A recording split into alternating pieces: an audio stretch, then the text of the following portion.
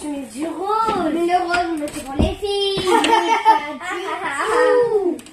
Chacun est libre de décider ce qu'il veut. On peut, mettre, on peut prendre toutes les couleurs qu'on veut. Par exemple, moi j'ai mis du bleu sur mon, sur mon dessin. Moi aussi, parce que moi, le bleu, c'est ma couleur préférée. C'est la plus belle couleur. Moi aussi.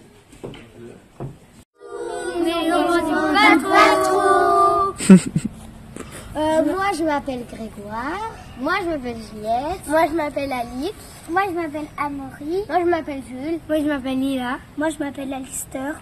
D'accord. Et qu'est-ce que vous avez fait euh, pour cette vidéo alors? Des différences. On a fait les différences. Et la différence de quoi? Des couleurs, des garçons. Oui, des couleurs où moi, j'ai dessiné en rose. Et il y a eu des méchants, enfin des personnes pas très sympas qui sont venus, ils se moquaient. Voilà, enfin moquer. Et après, Et nous, bah, on leur a dit bah, que euh, tout le monde avait le droit pas, tout le monde a le droit de d'aimer le rose ou le bleu, que, que tu sois une fille ou un garçon. Les couleurs, c'est mixte, voilà.